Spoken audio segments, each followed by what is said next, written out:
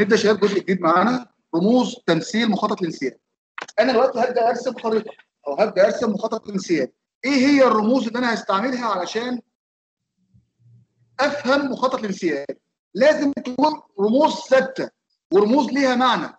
لازم يكون لها أشكال لها معنى. علشان لما أشوف الشكل ده أعرف إن ده بيدل على الإدخال. الشكل ده بيدل على الإخراج. الشكل ده بيدل على المعالجة. الشكل ده معناه بداية الرسمه الشكل ده نهاية الرسمه الشكل ده اتجاه الخريطة أو اتجاه المخطط. تعالوا بس نبدأ نعرف الأشكال وإن شاء الله خمس دقائق وناخد قراءة انسياب عملية هتوضح لي أكتر يعني إيه قراءة انسياب. أول شكل معايا يا شباب هو الشكل ده. شكل البيضاوي. ده شكل معناه إيه يا شباب؟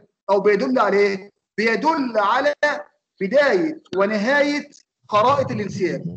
يعني اذا الشكل ده بيتحط في البداية وبيتحط في النهاية. أول لما أشوفه في الأول أو فوق أعرف إن هو بداية الخريطة تحت أعرف إن هو نهاية الخريطة. تمام؟ طيب يبقى الرمز الشكل البيضاوي بداية ونهاية أو يمثل بداية ونهاية البرنامج.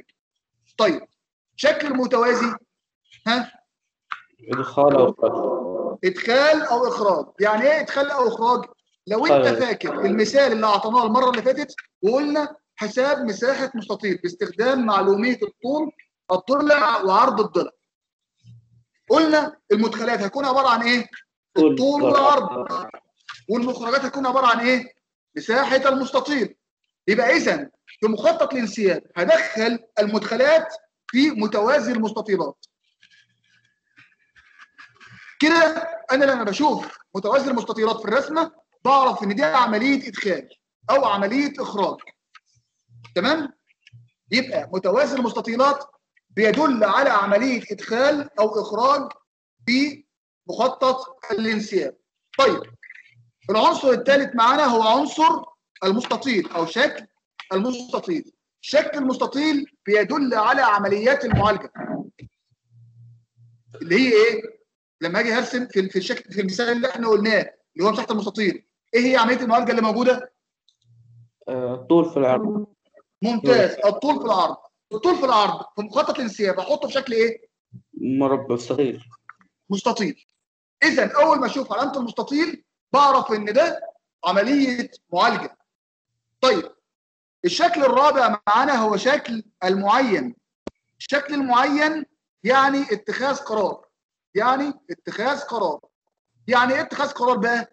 فاكرين لما قلت لك مثلا إن أنا هعمل تكرار لعمليات معينة واحط شرط معين اجمع لي الارقام من واحد إلى خمسة إيه هو اتخاذ القرار؟ اتخاذ القرار إن أنا هقول الرقم ده أكبر من خمسة ولا لأ؟ دي اسمها عملية اتخاذ قرار، اتخاذ قرار بنضعه داخل معين بنضعه داخل شكل المعين. طيب الشكل الخامس معانا هو شكل السهم شكل السهم ده أهو ده معناه اتجاه خريطة الانسياب اتجاهها من فوق لتحت ولا من اليمين لليسار ولا في شكل تاني ولا إيه بالظبط؟ يمثل اتجاه الانسياب المنطقي للبرنامج. طيب آخر شكل معانا هو شكل الدايرة، شكل الدايرة بيدل على توصيلة إن لو الصفحة خلصت مني وبنقل في صفحة ثانية لازم أحط شكل الدايرة معناها إن الرسمة ديت متصلة بالرسمة اللي فوقها. ديت أشكال اللي أنا بستعملها داخل مخططات الانسياب.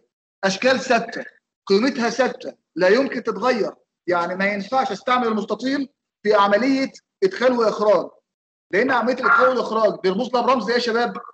آه، توازي المتوازي وما ينفعش أستعمل المعين في شكل البداية والنهاية للبرنامج لأن شكل البداية والنهاية بستعمل بستعمل رمز إيه؟